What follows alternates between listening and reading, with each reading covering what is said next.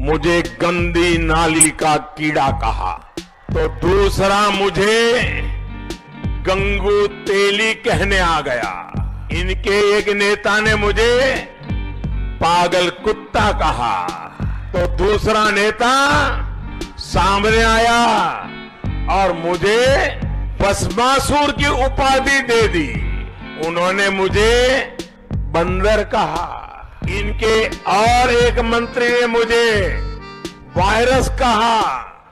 तो दूसरे ने दाऊद इब्राहिम का दर्जा दे दिया। इनके एक नेता ने मुझे हिटलर कहा। तो दूसरे ने मुझे बदतमीज, नालायक बेटा कहा।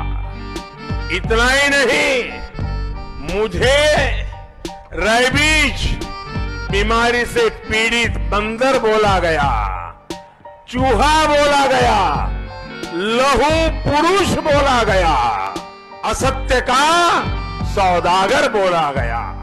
साथियों, कांग्रेस के नेताओं ने मुझे रावण, सांप, बिच्छू, गंदा आदमी, जहर बोले वाला मोस्ट स्टूपिड पीएम कहा गया।